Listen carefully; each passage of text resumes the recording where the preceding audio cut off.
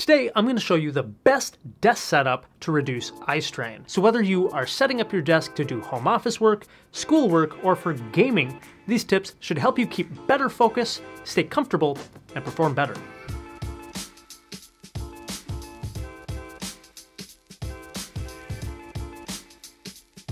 This video is going to have two sections. First is showing the ideal ergonomics of the desk setup, and then I'll share some tips about the screen settings as well as office hacks to reduce eye strain that most people just don't know about. Now, first thing you want to do is set up your laptop or computer screen to the proper distance, height, and tilt for your eyes. Now, for this desk setup, I am using the Asus VivoBook Pro 16X with the AMD Ryzen 9 6900 HX processor, which was sent out to me by Asus, but rest be assured, all of these tips should work great with any screen, whether a laptop or desktop. But huge thanks to Asus and AMD for sponsoring this video. Now the ideal distance to set up your computer screen should be about an arm's length away so that you don't have to reach forward to hit any buttons or shut it off. I like to say that you should be able to give a high five to your computer screen or at least touch it with your fingertips. For the height of your computer screen, you're going to want to adjust the laptop or desktop screen so the top is just about eye level or slightly below that by about 10 degrees.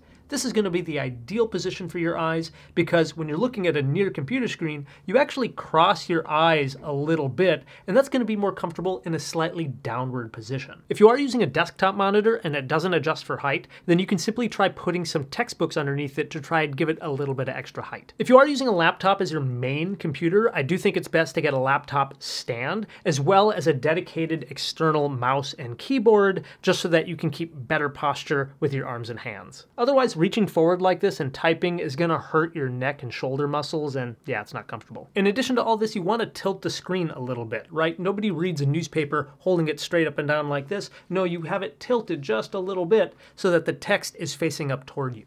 But it is also important to try to avoid any glare from light sources that could be from behind you, because that can otherwise be distracting and make it harder to see the screen clearly. Now, just doing this, having a proper setup, should help a lot of people with both their posture and their eye strain. But now to help further reduce eye strain and fatigue, Here's a few tips to help. Number one is to adjust the brightness and contrast settings. A recent study did show that people experience less eye strain when using a digital device with a lower brightness setting. I personally like to set mine around 50% or so, but you'll have to play around with it to find what you find is most comfortable.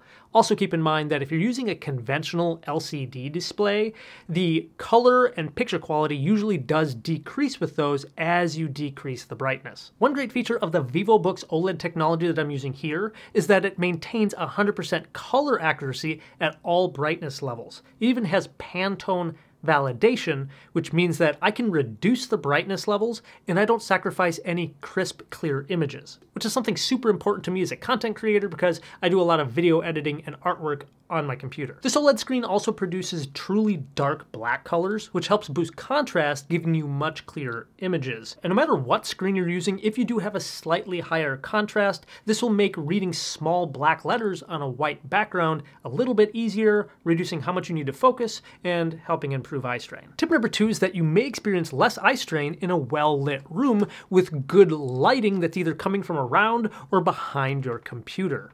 And that's because having good lighting helps constrict your pupils. And having small pupils, in fact, increases what's called your depth of field, more or less your range of clear vision or focus and this will help reduce the amount of time your eye muscles will have to adjust and refocus going from word to word in a sentence or from an image to an image on the screen. So while I know some people like to game or work in a darkly lit room, this in fact could be contributing to eye strain and defocus. Tip number three is to change the font size. If you're having a hard time reading small print, you can increase the font size or decrease it by holding the control or the command button and then hitting the plus or minus keys on the keyboard.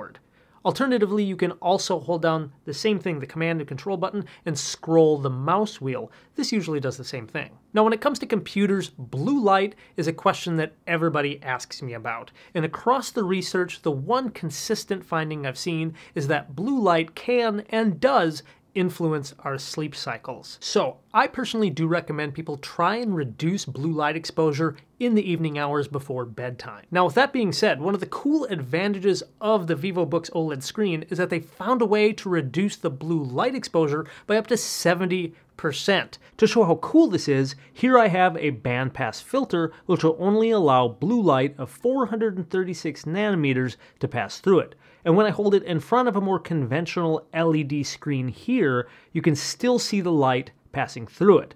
But when the filter is put in front of the new Asus OLED screen, it looks almost completely dark, which means it's not emitting as much blue light at that specific wavelength. And they're able to do this again without compromising color accuracy, which means no more yellow or orange screens, which I personally think is super cool. So now what about eyeglasses? If you're experiencing eye strain and you haven't gone in to have your eyes checked and maybe get a prescription pair of glasses updated, then that might be a great place to start. For a lot of people, just having accurate eyeglasses can help with a lot of eye fatigue. If you are somebody who spends a lot of time in front of a computer screen, then perhaps getting a dedicated pair of computer glasses may help.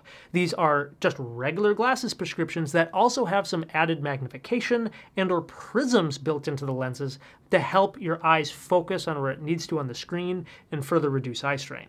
I think computer glasses are especially important for anybody over the age of 40 who spends an excessive amount of time on a computer screen, like for work or something like that. Varifocal or progressive glasses can help in short-term computer use, but for long-term, just you're gonna end up trying to find that sweet spot and that hurts your neck and it's just not as useful as a dedicated pair of computer lenses. And my final and bonus tip is in fact, move and take frequent breaks. After about 10 minutes, everybody does begin to slouch and your eyes tend to get tired. I mean, nobody goes to the gym, lifts a weight halfway, and then holds it there for an hour. So why do you think that's acceptable for your eyes to do that? Let me know in the comments if you've ever heard of the 20-20-20 rule, meaning to take a 20 second break looking 20 feet away every 20 minutes. That's something that a lot of doctors have recommended, but I'll tell you more recent research and experts are now saying that that's not frequent enough. Instead, they're recommending every 10 to 15 minutes. So pause what you're doing, stretch your legs, get a drink of water, and take frequent breaks. Your eyes will thank you for it. Hey, thanks for watching this video. I hope you found it helpful. Also, huge thanks to Asus and AMD again for sponsoring this video. And if you want to learn more about the VivoBook Pro 16X OLED screen that I used in this video, then I'll put a link in the description below so you can check that out. To learn more about what the published science says about blue light